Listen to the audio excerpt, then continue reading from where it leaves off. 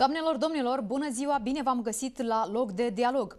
Moldova este unul din lideri în Europa în ce privește numărul de divorțuri, care a atins circa jumătate din numărul căsătoriilor. Țara noastră este pe locul 5 după cea mai ridicată rata a divorțurilor, fiind precedată de Rusia, care este pe primul loc, mai apoi de Belarus și țările Baltice. Astfel, tot mai multe cupluri decid să ducă o viață separată decât să-și rezolve problemele familiare.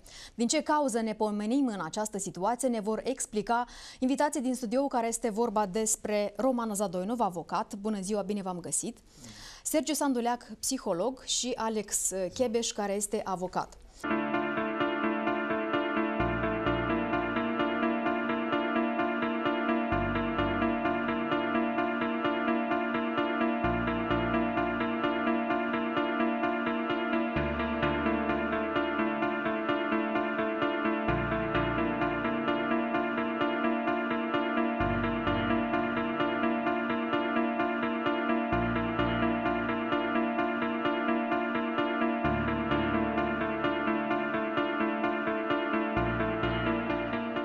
Am dorit, stimați invitați, să vă atragem atenția asupra acestor date statistice pe care le-ați urmărit în aceste clipe. Am dorit să aflăm pentru început uh, cum considerați, din ce cauză Republica Moldova uh, este printre primele țări la uh, rata divorțurilor. Este o problemă de mentalitate, este o problemă a psihologiei cuplurilor din Republica Moldova ca o fostă țară sovietică, pentru că în uh, țările de top uh, sunt uh, țările post-sovietice, practic. Cum considerați, domnule Sergiu, pentru că sunteți psiholog și vorbiți poate mai îndeaproape cu aceste persoane? În primul rând aș fi vrut să remarc faptul că, într-adevăr, ați spus Bine, că este vorba de un spațiu ex-sovietic și acest lucru este caracteristic nu doar țării noastre, dar totul, absolut la tot spațiul.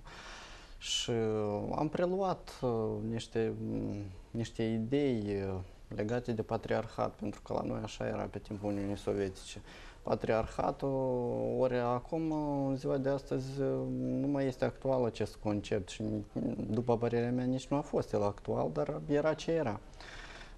Avem nevoie de egalitate, egalitate de genuri, ceea ce este mai greu de înfăptuit, dar mai Trebuie este și un bărbații factor. să înțeleagă mai bine psihologia femeii sau invers, femeia mai bine psihologia bărbatului. Această educație credeți că nu este suficient de bine predată în orele de educație sau în familie?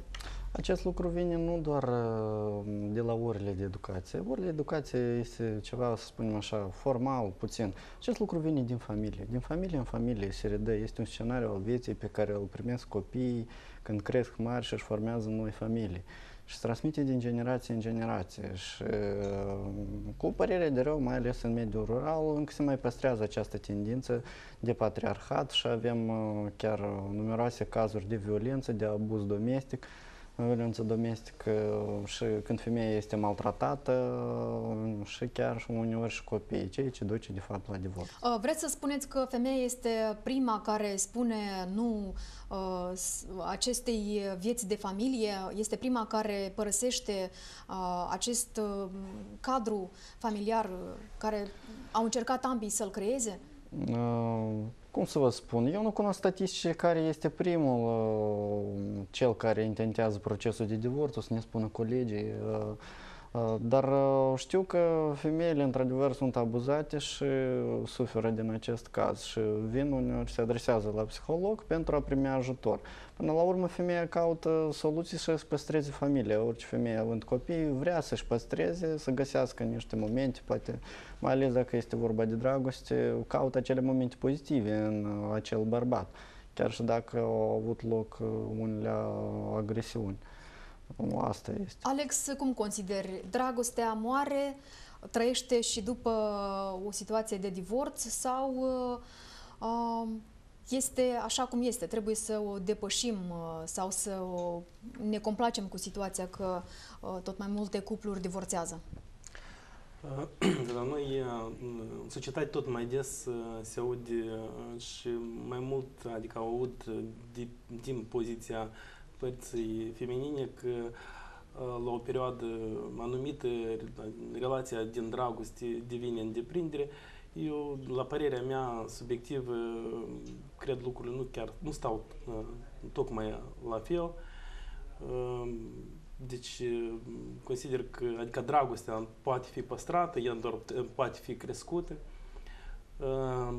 Uh, cazurile, cei ce ține de datele statistice, într-adevăr, biroul chiar și Național de Statistică, el nu va veni cu o informație cât cine mai, mai mult depune o cerere, bărbații sau femeile la divorț. Dar din practica noastră, deci, cultul acesta, atâta timp cât noi în societate promovăm situația în care și vedem tot mai multe posturi, reclame, unii din subtext sau la direct vorbește că bărbatul este agresor în familie, că el discriminează valorile atât feminine cât poate, Doamne ferește, și acele, acelora copil, atâta timp, deci noi nu, nu mai complicăm, cred, situațiile în familiile noastre. Și atunci când vorbeam de care ar fi problema, problema tot major ar fi și faptul, uh, procesul migraționist. Adică, la un moment dat, uh, a, am ajuns în situația când uh, se consideră a fi, chiar uneori percep și psihologul probabil aici a venit cu un răspuns mai calificat, uneori chiar din punctul meu, iarăși subiectiv, consider că de multe ori femeia ar crede că este deja la modă. Adică noi deja percepem, a, ne-am căsătorit, am făcut nunta asta în trecut, cu, cu mătrie am făcut, o botez am făcut, mergem mai departe. Și deja, păreri de rău, divorțurile deja au devenit o normă. O normalitate. Da, o normalitate. Uh... Divorțurile au devenit o normalitate. Să vedem dacă această situație este uh, și la Nisporeni. Posibil că colegii mei deja sunt uh, pe fir. Am dorit să aflăm, Tatiana, cu cine vom discuta astăzi despre divorțuri. Bună ziua, Natalia! Bună ziua, doamnelor și domnilor! La Nisporeni, numărul familiilor întemeiate este tot mai mic, iar numărul de divorțuri crește de la an la an, după cum arată cifrele oficiului stare civile. Conform Bibliei, angajamentul căsătoriei trebuie să fie pentru întreaga viață. Ce a împreunat Dumnezeu, omul să nu despartă. Însă, cele mai multe cupluri se despart din pricina neînțelegerilor. Motivele sunt și problemele financiare, lipsa unui loc de muncă sau plecarea unuia dintre soți în străinătate. Ce spune Biblia despre divorț și recăsătorie vom afla astăzi de la Părintele Serghei, parohul Bisericii din Vărzărești, iar de la Lazar Buzut vom afla care este secretul unei căsnicii fericite și cum a reușit acesta să ajungă la 50 de ani de căsnicie. Bună ziua și bine ați venit în studioul Albasat. Uh, Părintele Serghei, ce se întâmplă în societatea noastră? De ce avem atâtea divorțuri? Problema de divorț, desigur că este o problemă foarte dureroasă pentru societatea de astăzi, deoarece vizează societatea în general. Familia este acea unitate uh, care încheagă societatea în întregime și este o problemă care ar trebui să fie, mă gândesc eu, uh, abordată nu numai în studioul de astăzi la această uh, întâlnire, dar în general trebuie să fie o problemă care să vizeze statul în general. Uh, referitor la faptul care uh, stă acum în fața noastră, problematica care a spus-o, am putea spune așa, Dumnezeu desigur că binecuvintează legătura între un bărbat și o femeie doar uh, din trei motive. Ca ei să se ferească de desfrânare, ca să dea viață unui uh, copil sau a mai multora respectiva generației și să se ajute reciproc. Aceste trei principii trebuie respectate. Da, sigur. Ele trebuie să ținute sub control, ele, uh, asupra lor trebuie să se lucreze în continuu, deoarece noi ne întâlnim cu uh, o lucrare educativă. Uh, deja am uh, ascultat uh, materialul care a fost prezentat uh, din capitală, da? Da și domnii care au luat cuvânt deja au vorbit despre careva aspecte și în realitate... De ce avem uh, atâtea divorțuri? Uh, problema că nu sunt respectate așezămintele dumnezeiești. Deci nu este vorba de alte lucruri, uh, problemele legate de stare socială, financiară, economică, alte aspecte care astăzi nu vreau să mă opresc asupra lor, ele toate sunt zidite pe o temelie legată de lipsa de educație religioasă adâncă, care practic și este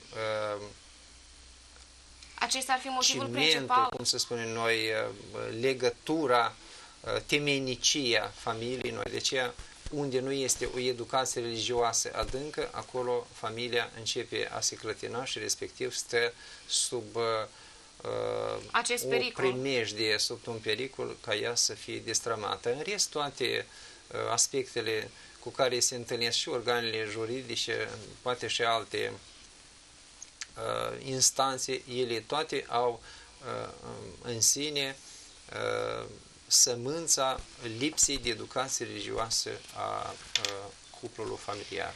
Domnule Băzu, dumneavoastră ce părere aveți? De ce avem atâtea divorțuri? Nu, mai întâi, divorțurile nu sunt uh, un fenomen rar întâlnit, întotdeauna au fost. Când uh, se permiteau, când nu se permiteau. Și cred că nu este necesar să ne concentrăm asupra acestei cifre, cât s-au căsătorit, cât s-au uh, uh, divorțat. Merge vorba aici mai mult despre altceva, că societatea a pierdut pe parcursul anilor, schimbărilor istorice care am avut noi, au pierdut o calitate. Calitatea care se numește responsabilitate eu uh, am ceva practică de viață și pot afirma că niciodată n-a fost ușor pentru o familie. Da, absolut. Toți anii aceștia care am trăit eu au fost ani de luptă pentru existență, pentru îndeplinirea angajamentelor, să le numim așa, obligațiile Ați reușit noastre. să mențineți o căsnicie 50 de ani. Cum ați reușit? Eu leacă mai mult de 50 de ani. De acum, e- asta s-a întâmplat în 2008. Cum s-a întâmplat? Iată aceasta e. A fost întotdeauna responsabilitate. A fost problemă care trebuia întotdeauna rezolvată în fiecare zi. Să faci, să asiguri, să fii drept, să fii drept, să nu preținuiești rău altora și să ții cont că fără cei din jur nu poți face nimic. Noi ne-am detașat astăzi unul de altul. Dacă să răspundem la întrebare de ce atâtea divorțuri, da, să înțelege că sunt multe cauze, dar, Care ar fi dar cauzele? nici într-un caz nu este e, e, factorul, factorul material. Nici într-un caz. Dar ce factori? Unii motive și factorul material. Sunt circumstanțele uh, sociale. Despre ce merge vorba? În primul rând, este mai ușor când e ușor, așa? Și acum este alternativă. Ce fac? Mă căsătoresc și mă închid? Sau mă căsătoresc ca să mă numesc că am fost căsătorit când a trebuit să răspund la întrebările cele incomode că am fost căsătorit și ne-am luat uh, geanta și am plecat. Lipsește elementul principal, responsabilitatea. Pentru că un om sănătos și corect pentru sine nu poate să admită așa pentru că eu să-mi caut să-mi fie comod. Dar uh, celorlalți din jur e treaba lor. Nu și alte este- motive care ar fi? nu, bă, acesta e. Libertatea principal. aceasta, alternativele. Alternativa de a alege ceva mai ușor. Asta e eu. E, Ce spune Biblia despre divorț? Dumnezeu îngăduie divorțul dintre persoanele respective care au format cuplul familiar doar într-un singur uh, caz. În cazul când una din uh, persoanele, deci din uh, membrii familiei, calcă fidelitatea familiară. Numai atunci îngăduie, dar nu-l obligă pe om ca să desfacă familia. El este liber ca să lupte pentru integritatea familiei, pentru a o păstra de a o reface și de a o aduce la perfecțiunea ei, dar nici într-un caz nu uh, obligă. Da, eu vă mulțumesc. Haideți să vedem care sunt și opiniile invitaților de la Chișinău. Îți mulțumim foarte mult, Tatiana. În studioul de la Chișinău deja sunt uh, careva reacții din partea invitaților mei. Uh, Alex, ai fost uh, împotriva câtorva opinii exprimate la Nisporeni. Care sunt acestea? Îngăduie sau nu Biblia să fie separată familia? Sau în unele situații cuplurile sunt nevoite să o facă? Cu preotul de, de la Nisporeni sunt în totalitate de acord când vorbește se vorbește la general de responsabilitatea societății. Și în cazul dat, biserica are mult, un cuvânt greu a spune în păstrarea familiei. De fapt, în Biblie este clar prescris că soții intrând într-o căsătorie, deci nu, nu au dreptul la divorț.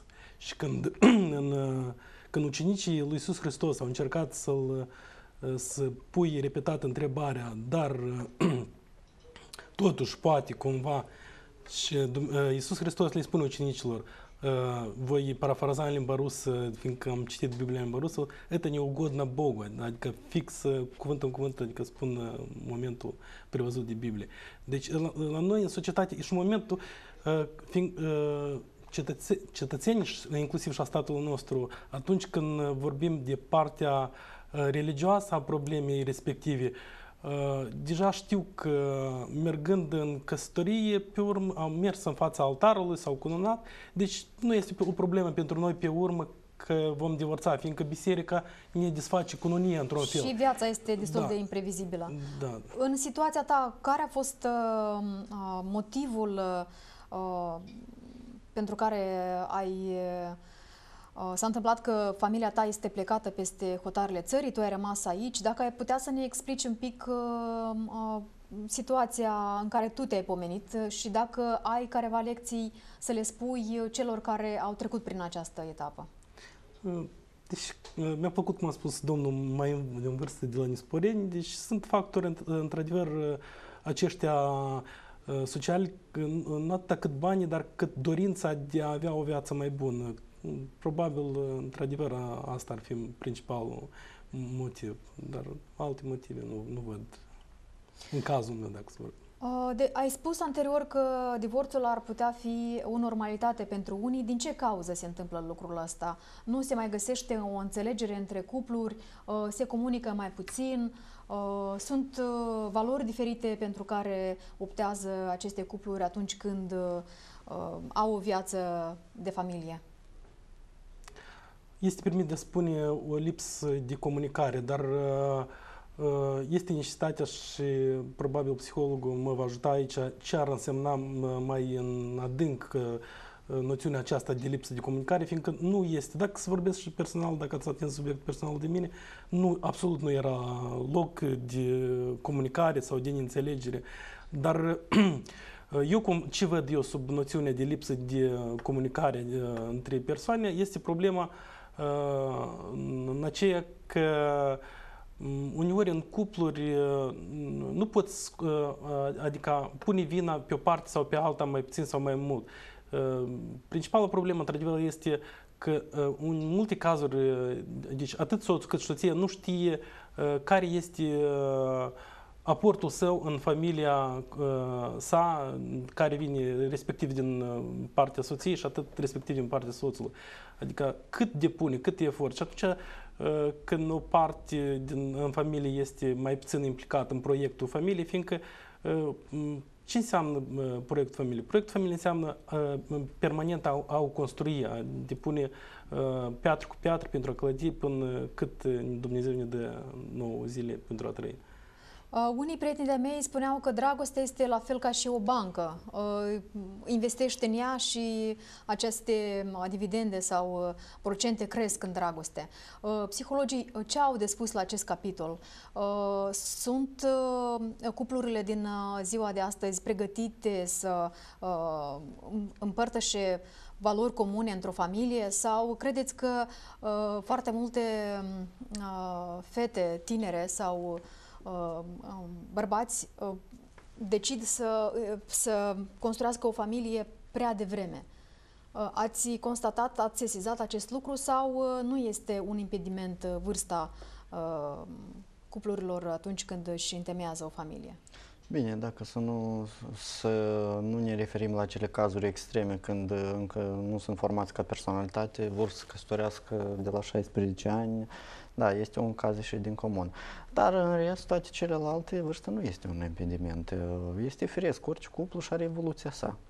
De la început până la urmă începe perioada curterii, de la perioada curterii urmează uh, Um, acea fază de decizie, da, da sau nu, este bun partenerul sau nu este, se aleg, se decid împreună să construiască o familie și asumă responsabilități. Foarte mult mi-a plăcut cum au expus colegii noștri de la Nisporeni. Într-adevăr, responsabilitatea este o componentă a dragostei. Dacă să luăm uh, în calcul acea teorie a dragostei, este nevoie de ce? Un pic de pasiune, responsabilitate și intimitate. Și dragostea este pe loc. Ori dacă nu este responsabilitate, evident nu putem vorbi de dragoste. Și asta, într-adevăr, chiar este un factor social care lipsește un pic societății noastre. Oamenii, nu, tinerii nu își asumă responsabilități Uh, și mm, asta e... Sau nu sunt pregătiți să își asume anumite responsabilități, se gândesc că uh, în continuare părinții vor fi uh, cei care îi vor sprijini în continuare sau... Nu neapărat așa, nu neapărat să fie părinții, chiar unii au noroc de faptul că părinții îi pot susține, pentru că factorul economic la noi își pune amprentă. Orice ceartă, știți, în primul rând începe nu doar de la comunicare, dar și de la lipsă de bani sunt probleme materiale. Când sunt bani puțini, e ceartă. Dar și comunicarea, chiar uh, foarte bine a precizat uh, colegul nostru, uh, este un factor destul de important care um, duce la o rată de divorțului foarte mare. De ce? Pentru că oamenii nu știu să comunice. Noi avem o cultură a comunicării. Noi nu știm cum, noi comunicăm violent. Mamele comunică cu părinții, copiii uh, cu, cu Copiii preiau acest pe, uh, preiau acest da, lucru și acest stil de comunicare chiar este degradant. Uh, să vedem despre rata divorțurilor de la colegii noștri care au realizat un reportaj despre Nisporeni. Mă rog regia să pună pe post acest reportaj, după care revenim în studio. Numărul divorțurilor în raionul Nisporeni a depășit deja de mai bine de 10 ani numărul căsătoriilor, relevă datele oficiului stare civile. Conform evidenței citate, numărul divorțurilor a ajuns în primele 9 luni ale anului curent la 112, față de 76 de căsătorii încheiate în aceeași perioadă. În privința divorțurilor, dacă în 2002 au fost 178 acte de divorț, în 2010 am avut 125, iată aici este o creștere vădită. Ca în 2012, la, până la sfârșitul anului, să fie 163 acte de divorț, iar pe 9 luni, în anul 2013, sunt deja 112 cupluri care și-au uh, desfăcut căsătoria. Cele mai multe cupluri se despart din pricina neînțelegerilor, însă motivele sunt și problemele financiare, lipsa unui loc de muncă sau plecarea unuia dintre soți în străinătate. Motivele sunt diferite, motivele sunt uh, stipulate în, uh, în instanța de judecată când uh, familiile nu mai pot găsi limbă comună, când familiile nu mai rezistă să ducă relația mai departe când apar copiii. Experții spun că cele mai înalte rate ale divorțurilor sunt înregistrate în localitățile urbane. De asemenea, cel mai des se separă familiile tinere. Poate că nu se cunosc prea bine, de atâta și multe divorțuri sunt. Influențează și factorii sociali și demografici, adică plecarea psihotare, neprezență, familia, cuplu total împreună acasă situație, situația economică. Înainte, știți, cum, când te căsărei, te mai gândeai că apare un copil, de am asta e o responsabilitate. Dar acum mai a lor le indiferent. Este, nu este, stat ca în Europa. Nu ți-o convine ceva? Te-ai spărțit. Potrivit raportului ONU, cele mai multe divorțuri sunt înregistrate în Federația Ruse, unde rata este de 4,5 cazuri la 1000 de locuitori. Urmează Belarus cu o rată de 4,1, Letonia cu 4 și Lituania cu 3,2 divorțuri la 1000 de populație. La polul opus este Malta, unde anul trecut au fost înregistrate 0,1 cazuri la 1000 de locuitori. Doamnelor și domnilor, am revenit uh, în studio. Uh, este vorba despre rata divorțurilor. Am vrea să întrebăm uh, pe colegii noștri de la Nisporeni care este motivul principal pentru care cuplurile se despart. Aici în studio am vorbit că migrația ar fi unul dintre acești factori. Am dorit să aflăm de la domnul preot care îl avem în studioul din Nisporeni, este acesta unul dintre factorii pentru care cuplurile decid să se separă sau este vorba despre acea responsabilitate, valorile pe care le împărtășim zi de zi? Rămân pe aceeași lungime de undă, să spunem așa, pentru că principalul în divorț este lipsa de credință și lipsa de dragoste a soțului unul față de altul. Dacă oamenii ar înțelege simțământul de dragoste dumnezeiesc care ne cheamă la jertfire pentru apropiatul, atunci noi am depășit toate neajunsurile lui, inclusiv și probleme legate de lipsa de bani, inclusiv și neajunsurile omului, inclusiv și lipsa lui de educație, dar ne-am angajat într-o lucrare de ajutorare apropiatului și de a păstra a ceea ce a legat Dumnezeu, după cum se spune în prima carte din Biblie că ce a legat Dumnezeu, omul să nu dispartă. Dacă am înțelege în toată profunzimea ce înseamnă căsătorie într-o bărbat și o femeie, o, ă, să ne închipuim așa, o interpătrundere într-așa o modalitate în care ambele suflete nu mai sunt în stare ca să fie desfăcute, chiar dacă primesc hârtia de la oficiul stării civile că sunt deja în divorț, chiar dacă biserica desface printr-o binecuvântare arhierească aceasta, dar sufletele lor rămân în continuu legate. Biserica binecuvintează căsătorie între uh, unul din soți care a divorțat cu celălalt doar în cazul când primul Uh, soț deja a murit. Sigur că sunt de la caz la caz uh, lucruri care trebuie să examinate particular, dar în general nu se admite uh, divorțul. Trebuie de păstrat Ce relație familia. duhovnicească rămâne între soți după divorț sau după moarte? Fiecare rezolvă în felul lui, desigur, din punct de vedere pământesc, social, dar uh, sufletele sunt legate pentru veșnicie. Ele niciodată nu se dispart și respectiv, uh, adică ele uh, singure își păstrează identitatea lor, dar legătura între dânsele rămâne indisolubilă. Când este permis divorțul și recăsătoria? Noi deja am vorbit, numai în caz când se încalcă fidelitatea familiei, atunci se dă voie ca să Uh, disparte soții, dar din dar nou, recăsătoria? Dar când? recăsătoria când unul din soți moare și celălalt nu poate păstra uh, văduvie respectivă, dar dorește să uh, închege din nou o familie, atunci biserica binecuvintează. Desigur că creștinește trebuie de făcut așa cum binecuvintează Dumnezeu. Ce înseamnă ascultarea în cadrul căsătoriei? Este un lucru de aur lucru care îl doresc fiecăruia, nu numai în cadrul căsătoriei, dar în oricare sferă socială. Ascultarea uh, este acea lucrare dumnezeiasă care rezolvă multe probleme, desigur că până la păcat. Femeia trebuie să se teamă de bărbat? Nu. Așa scrie în Biblie, dar nu trebuie de interpretat în sens cum este tălcuită des că Uh, se teamă de frică ca să nu fie bătută, maltratată, etc. Nu. Se teamă în sens că uh, de a nu-l pierde pe bărbat, să se teamă în sens de a nu își manifesta întâietatea înaintea bărbatului, pentru că femeia este făcută din bărbat, nu bărbatul din femeie. Este o parte din bărbat. Este de ajuns să citim Cartea Afaceri și uh, observăm acolo că Dumnezeu a dat un somn adânc peste Adam și a luat o parte din Adam, o coastă și a făcut-o pe femeia sa.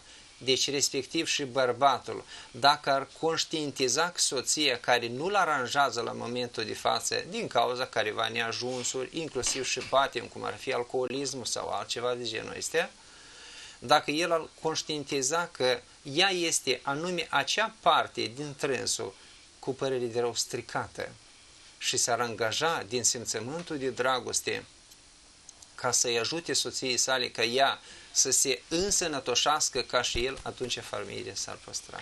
Domnule Băzu, dumneavoastră, ce părere aveți față de ascultarea în cadrul familiei? Păi ascultarea este componentul principal în ceea ce de obicei vorbim noi, comunicare, comunicare. Iată, ascultarea aceasta, talentul, capacitatea omului de a asculta, nu numai cât femeia trebuie să asculte, ambii ascultă. Toată societatea trebuie să se asculte unul pe altul. Atunci noi ajungem la rațional. Dacă nu ascultăm pe nimeni niciodată, nu știm nici adevărul, nici calea care trebuie să merge. Deci ascultarea este elementul de bază în comunicarea între oameni. Cât privește ceea ce înțelegem noi sub cuvântul ascultare, eu cred că trebuie să ascult în primul rând acela care e pe o treaptă mai joasă în familie. El trebuie să recunoască că eu sunt acela care trebuie să ascult. Nu-i neapărat femeia trebuie să asculte. Dar în multe cazuri în zilele noastre, femeia merită să fie ascultată. Și cred că talentul ăsta, capacitatea de a asculta, trebuie să, să o avem toți. Da, eu vă mulțumesc, iar acum haideți să vedem și opiniile invitaților de la Chișinău. Îți mulțumim, Tatiana. Înainte de a, a vedea care sunt opiniile experților noștri de la canalul regional despre rata divorțurilor, vă propun, stimați telespectatori, să urmărim ce cred trecătorii din Florești. Colegii noștri de acolo au realizat un vox cu aceștia, să vedem imaginile. Situația din țară, pe părerile mele. Și încă care ar mai fi? Educația. E migrația asta, pricina uh-huh. Migrația. Și sărăcie. Și sărăcie, nu? Aia este două. Împăcarea, cred că nu... Nu se împacă, eu știu. Fiindcă fetele în ziua de azi iubesc să distreze, dar bărbații iubesc mult să servească, să bat femeile, să-și bată joc. Dar, pe de altă parte, unele familii, orișca, sunt foarte fericite. De atât că oamenii n-au răbdare și nu se iubesc unul pe altul. Dar trebuie să ai în familie răbdare, putere și când bărbatul zice ceva, femeia trebuie să tacă. Când bărbatul zice, asta femeia invers, trebuie unul pe altul să stimeze. Nu știu. Sram familie care trăiesc cu o grămadă de ani și la bărbați acasă și copiii își duc pe Italia așa croșet. Eu sunt bătrân, știu de cele. Eu cred că, în primul rând, să genovesc părinții. Fiindcă la copii de tot, dar de la nu cernică. Femeile se duc în Italia, bărbații la Moscova. Situația parcă la noi se îmbunătățește, locuri de muncă nu prea avem. Când o să fie economia mai dezvoltată în Moldova, eu cred că la noi o să fie paritatea inversă. O să stăm acasă cu familii frumoase și copii frumoși. Stimați telespectatori, bine ați revenit la loc de dialog. Potrivit Biroului Național de Statistică, majoritatea cuplurilor divorțează pe parcursul primilor 5 ani din momentul încheierii căsătoriei. Cea mai mare rată a divorțurilor se înregistrează în cazul cuplurilor în vârsta de 20-34 de ani, adică circa 20% din numărul total al divorțurilor. Potrivit experților, principala cauză a divorțurilor în, în toate țările post-sovietice este faptul că femeile căsătorite sunt nevoite fără ajutorul soțului să câștige bani peste uh, hotare pentru toată familia, să se ocupe de gospodărie și să educe copiii. În țara noastră, familiile se destramă în special din cauza problemelor financiare, a lipsei locuinței, migrației și infidelității, incompatibilității uh, emoționale. Stimați telespectatori, am dorit în aceste clipe să întrebăm și opinia uh, psihologilor. Este acest motiv, uh, problema financiară sau migrația, uh, eminentă în cazul divorțurilor sau credeți că totuși cuplurile, dacă se iubesc, uh, împărtășesc această dragoste din start, ar putea uh, situația să se schimbe pe parcurs? Din start este un mit faptul că dragostea este veșnică și ea trebuie dezvoltată. Amorizarea durează cea, cel roză frumos durează trei ani de zile, în continuare urmează investiții, investiții și responsabilitate, precum s-a spus. De aceea, într-adevăr, migrația își pune punctul său de vedere, chiar e o problemă migrația la noi și din cauza acestea avem foarte multe divorțuri. Dar asta nu este unica cauză de multitudinea cauzelor care există. Am vrea în continuare, stimați telespectatori, să abordăm și problema partajării averii, pentru că de cele mai dese ori aceasta este una dintre problemele cu care se confruntă cuplurile în etapa de divorț sau post-divorț. Îl avem în studio pe Roman Zadoinov, care a asistat mai multe dintre cazurile care au fost și câștigate la CEDO, din câte cunoaștem. Domnule Zadoinov, care este situația post divorț sau cuplurile se gândesc deja să-și partajeze averile înainte de a face acest pas? Sunt două posibilități generale în legislația Republicii Moldova. Prima asta, pur și simplu înregistrăm căsătoria și ulterior la divorț împărțim ceea ce am agonisit în timpul căsătoriei, toată averea care este formată în timpul căsătoriei se consideră comună între vălmășie a soților. Sau există și alte posibilități. Se încheie contractul uh, patrimonial, deci între soț uh, și la divorț, deja conform contractului se, se împarte averea care a fost până la căsătorie sau care uh, a fost creată în timpul căsătoriei. De ce sunt două posibilități generale prevăzute în legislația Republicii Moldova. Un contract patrimonial, din câte cunoaștem peste hotarele țării, se semnează între cupluri chiar atunci când se căsătoresc pentru a ști din start, în cazul unui divorț, cum să-și partajeze averile. Cât de întâlnită este această situație în Moldova? Se gândesc cuplurile să încheie un astfel de contract? Dacă cunosc, bine, vedeți care e problema? Prima problemă care apare aici, ca oamenii să cunoască că există așa, această posibilitate de a încheia un contract patrimonial, uh, ca în, în caz de divorț să știm cine și ce a investit în familie și cui și ce îi revine uh, din uh, bunurile patrimoniale, din bunurile materiale. Adică prima este să știi că există această posibilitate. Mult nici nu cunosc că există această posibilitate, deci deoarece a fost introdusă recent în codul civil nou, în codul din 61, nici nu era această prevedere prevăzută.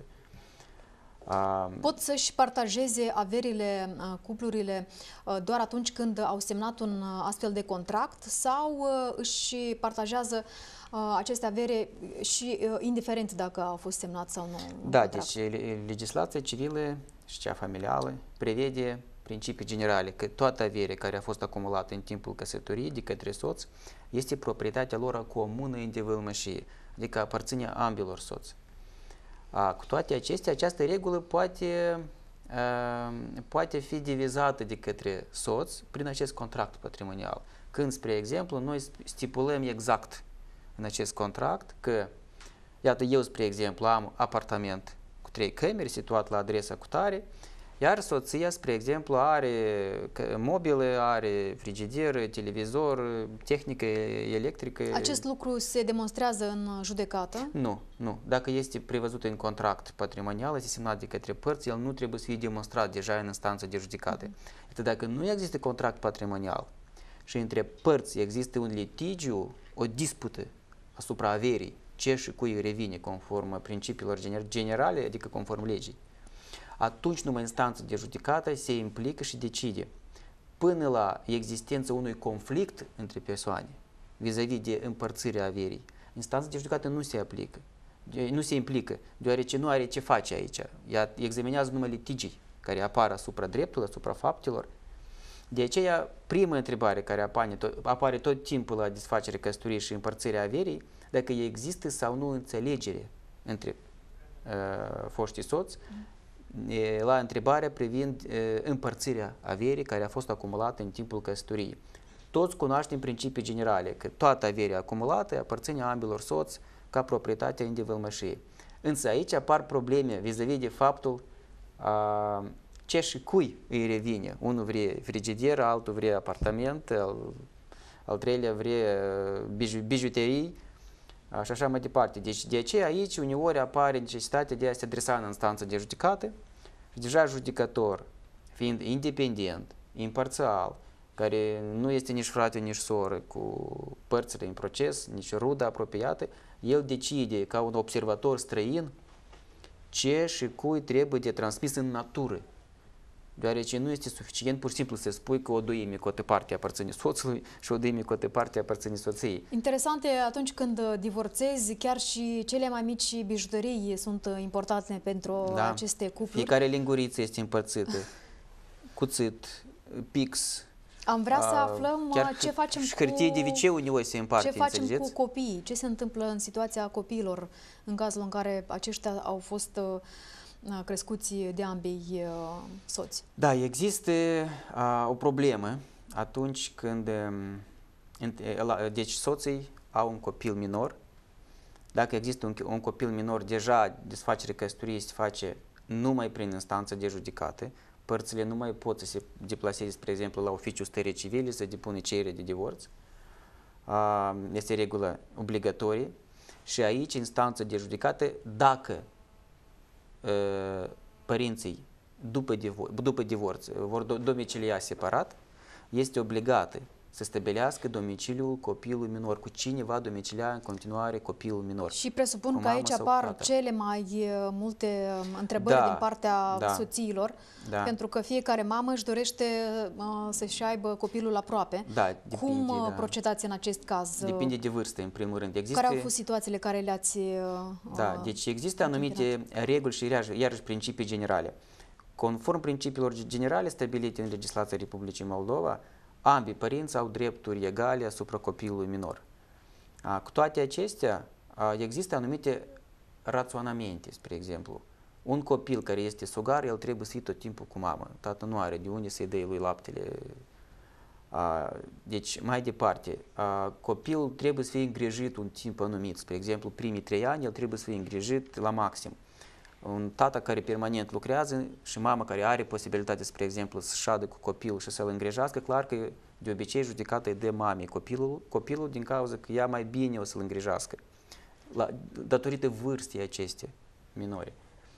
A, cu toate acestea, cu majoratul vârstei sau cu creșterea vârstei copilului, deja este posibil de la 12 ani de întrebat și părerea copilului cu cine el vrea să trăiască.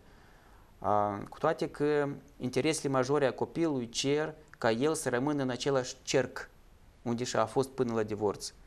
Spre exemplu, dacă el a trăit în sectorul Buicani, aici la dânsul școală, aici la dânsul la copil a, prieteni, a, nu îi se recomandă să-i schimbi lui cercul acesta ambiant și să-l treci, spre exemplu, la Ciocana cu un alt părinte, deoarece se schimbă acest cerc ambiant al lui, se schimbă prietenii, trebuie schimbat școală, nu se recomandă acest lucru. De aceea, noi tot timpul în instanță de judecată și conform principiilor și recomandărilor Consiliului Europei și Curții Europene a Drepturilor Omului, ținem cont de interesele majore a copilului în primul rând. Cum lui să fie mai bine în caz de divorț. E clar că întrebarea este destul de, așa eu aș spune, problematică. Cum poate fi bine copilul când părinții divorțează? Dar totuși trebuie să găsim un just echilibru, cum spune dreptul internațional, între interesele majore a copilului, interesele societății, interesele justiției să fie stabilite echitatea și interesele părinților ca totuși să aibă acces la copil, să, să poate comunica cu copil ambii liber și așa mai departe. Plus are importanță și comportamentul însăși părinților. Dacă mama copilului, spre exemplu, abuzează de drepturile sale și interzice tatălui să aibă acces la copil, atunci instanța de judecată trebuie să cumva să acționeze ca să pedepsească totuși părinții care acționează cu rea credință și ca ambii părinți să aibă acces. Cu toate acestea există diferite situații. Dacă tata aduce anumite prejudicii sănătății, psihologiei copilului, atunci clar că instanța de judecat trebuie să intervină aici să pună capăt acestor abuzuri. Cu alte cuvinte, există principii generale Și există caz concret care trebuie să fie examinat de către instanța Am de vrea judecată. să aflăm uh, cât de informate sunt cuplurile în ziua de astăzi să apeleze la aceste servicii. Uh, Bănuiesc că foarte mulți nu cunosc legislația din Republica Moldova și au de suferit uh, fie că mama sau tatăl sau chiar acel copil care uh, nu este întrebat cu cine dorește să, să și petreacă timpul. Alex, ce ai de spus uh, despre aceasta? Aș vrea să completez colegul. Domnul Roman Zădon- Zădoinu vorbește în formula ideală uh, din punct de vedere a legislației. De fapt, în realitate, lucrurile stau total diferit când uh, se procede la, uh, la examinare uh, cum va fi stabilit domiciliul copilului. Uh, În cazurile mele pe care eu le-am ex, ex, uh, eram sau uh, ca participant în, în proces sau că reprezentam sau în cazul și meu personal, deci uh, uh, judecătorul uh, în instanță de judecată mi-a spus în, direct în ochi, adică noi, uh, judecătorii, de obicei uh, decidem ca copilul să rămâie cu mama. Deci, uh, în uh, formula, cum uh, prevede și legislația europeană, uh, uh, se iau interesele majore ale copilului. Corect, așa. Dar uh, cum se, ce înseamnă aceasta? Deci, uh, este organul de prote- uh, protecție uh, pe, pe lângă consiliile locale, uh, este asistență socială care, deci ei sunt uh, implicați în procesele acestea de stabilire a domiciliului și atunci ei trebuie să sta- stabilească condițiile de trai. Acesta de fapt și este un moment în care uh, s-ar stabili uh, care ar fi interesul copilului. Deci ei trebuie să meargă la uh, domiciliul păr- părinților, Să examineze, situația, să vadă care este starea trebuie de să- lucruri. Da, să vadă metrajul. Deci în, în Europa doar uh, așa și se, în țările europene doar așa și se, se practică. Adică dacă mama solicită ca domiciliul uh, uh, copilului să fie cu, stabilit cu ea, ea trebuie să prezinte contractul de chirie a apartamentului sau unde ea va trăi, deci uh, să prezinte care este metrajul, fiindcă trebuie să, uh, fiecare persoană trebuie să aibă minimul necesar de uh, stabilit uh, pentru, fiec- uh, pentru fiecare om. Uh, Salariul, deci uh, uh, și momentul, într- uh, de fapt, uh, într-adevăr, a lap- când este uh, momentul de laptare, deci atunci, uh, când- după părerea mea, uh, ar trebui, uh, adică um, aș da crezare instanțelor de judecată în cazul nostru. Dar în, uh, în realitate, în, la noi în Republică, lucrurile, să, după cum menționam, să altfel. Uh, uh, Sunt cazuri, dar uh, poate să fie uh, decizia de divorț, de, uh, spre exemplu, uh, poate să fie la fermențală, poate să pară pe urmă rău. Deci, După da- care să-și să să regrete. revină la normalitate, Da, normalitate. Dar, să uh, soluționeze careva conflicte. Dar ai- aici, deci, din punctul meu de vedere, și uh, instanțele de judecat comit uh, uh, o greșeală la adoptarea deciziilor respective. De ce? Uh, Deoarece uh, prin hotărârile, deciziile sale, instanțele de judeca- judecată deja um, educ uh, cultul acesta că copilul va fi stabilit, dom- domiciliul va fi stabilit cu mama și mama ușor merge în instanța de judecată pentru a cere un divorț.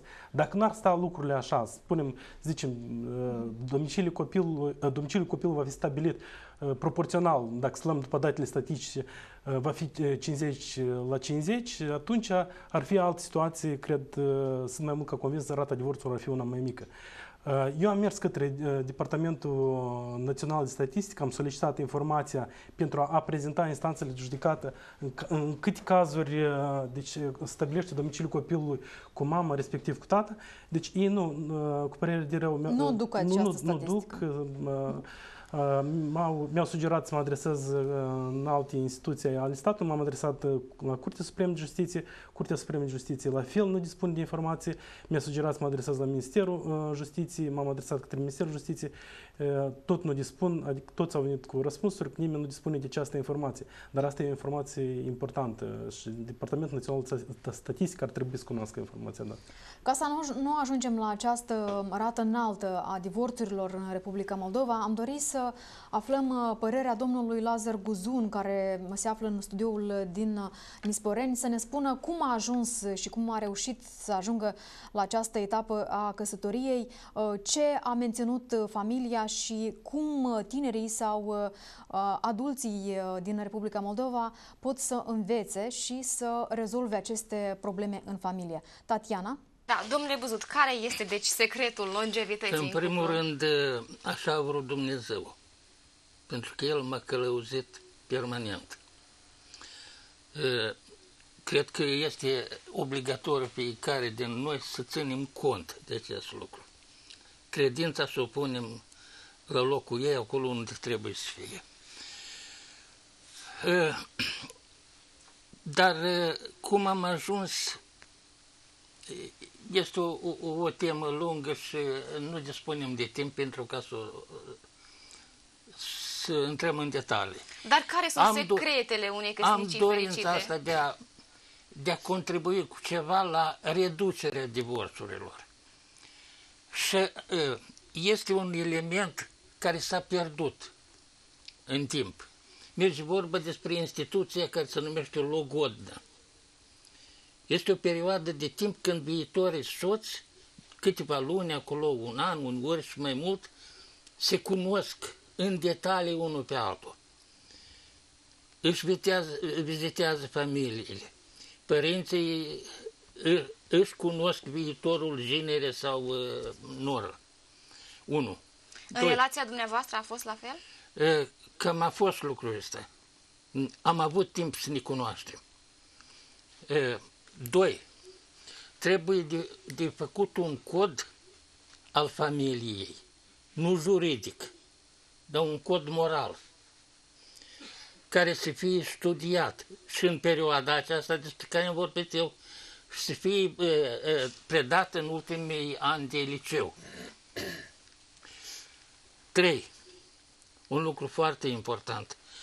De eliminat minciunea din societatea noastră care a ajuns la apogeu, care a devenit capul tuturor începuturilor și sfârșiturilor și unde te întorci, în presă, la guvernare, în parlament, în minister, peste tot, gogonele, mișunele și ne stăruim să căutăm vinoveți de exclus uh, elementul material din cauza divorțurilor. Nu este starea materială cazul de divorț. Problema materială întotdeauna există și la cei bogați și la cei săraci și uh, dacă facem o structură și să vedem cine divorțează și nu veți vedea că foarte mulți bogați divorțează și nu este migrația cauza divorțurilor, dar din contră, divorțurile sunt cauza migrației. Pentru că mai mult de jumătate din, din cei care pleacă, pleacă după bani, dar nu de atâta că nu are. De ce ce am spus eu mai înainte. Responsabilitatea trebuie să devină regină pentru toată lumea. Și atunci problema asta uh, cu, cu 50 de ani de viață familială, cu, cu, cu, cu 60 de ani și așa mai departe, se va întâlni mai des. Uh, iată așa pe scurt, ce s-ar putea Ce sfaturi ne puteți da pentru a menține cât mai mult respectul, dragostea și sentimentele pozitive în relație? Toleranța. Să fim toleranți. Și să ținem minte că niciunul din noi nu suntem perfecți. Să folosim o metodă foarte simplă și foarte uh, sănătoasă pentru uh, siguranța unei familii autoanaliză. Să ne punem în locul celuilalt. Să vedem ce vom... Cu un cuvânt, vedeți, trebuie să medităm. Înainte de a spune o vorbă, de a trânti una mai tare așa, sau de, de a lua o decizie strâmbă. Trebuie să ne gândim medităm, mai bine. Să medităm. Să ne respectăm. Dar ce înseamnă respectarea? Să ne auzim unul pe altul și să facem ceea ce am spus numai ce să medităm, să nu ne grăbim nici la căsătorie, dar nici la procesul invers. Că nu ne grăbește nimeni la urma urmă. E, e, e unica instituție din societatea noastră unde absolut binevol o face. Și peste câteva zile descoperim că nu e ceea ce am căutat. Iată așa, instituția de logodnă codul, numai decât cod moral al familiei, predat în școală, în ultimele ani de licei, de ajutat pe oameni. Și sunt trei stâlpi a familiei. Părinții, ambelor, dacă nu sunt părinții, sunt bunieii, dacă nu sunt bunieii, sunt niște oameni apropiați, nănașul și bineînțeles că uh, uh, stâlpul principal totuși va fi încă multă vreme, dar poate pentru totdeauna, biserica. Părinte Serghei, dumneavoastră, ce sfaturi ne dați pentru a menține dragostea și fericirea într-un cuplu? Aș vrea ca această emisiune să nu fie prima și ultima. Aș vrea un serial întreg de asemenea întâlniri, sunt, le găsesc foarte binevenite. Uh, altă problemă, nu știu dacă veți trasa careva sarcini sau în gine dacă v-ați pus scop ca în uh, emisiunea de astăzi să trasați careva sarcini, dar vreau să spun că pe fondalul uh, demoralizării sociale de astăzi este greu de păstrat o familie. Dacă vom investi în instituția familiei, statul, biserica, școala, familia, vom investi cel mai mult, să știți că numărul de divorțuri va scădea considerabil. Dacă vom crește o generație, cum a spus și dumnealui, uh, sănătoasă din punct de vedere moral, atunci multe din întrebările care sunt astăzi la capitolul divorț vor dispare automat. Toate instanțele care se întâlnesc cu soluționarea probleme legate de divorț se primește, să spunem așa, ca niște slujbe care strâng gunoiul lipsii de morală sănătoasă a societății. Dumnezeu a menționat foarte just, biserica are întâietate în această privință. Dacă s-ar atrage atenția din partea bisericii, dacă ar contribui la această statul și ar pleca urechea instituțiile statale la ceea ce spune Biserica Bună, dacă ar introduce și religia în școală și s-ar vorbi despre lucrul acesta, să fac careva conferințe, întâlniri cu tineretul, etc., atunci am crește o generație. Dar să primește ca așa, biserica sau alte instituții, cum ar fi familia, școală, vorbesc despre careva uh, noțiuni sănătoase, dar uh, în oponență observăm alte lucruri care distramă tineretul de astăzi, atunci să știți că batem pasul pe loc. Eu doresc uh, uh, sigur că să ne angajăm într această lucrare, să nu fie numai o vorbă goală plasată pe ecran în studio. Uh, să urmeze și mai multe da, emisiuni. Da, Eu vă mulțumesc da. pentru participare la această emisiune, iar acum ofer legătura studioului central.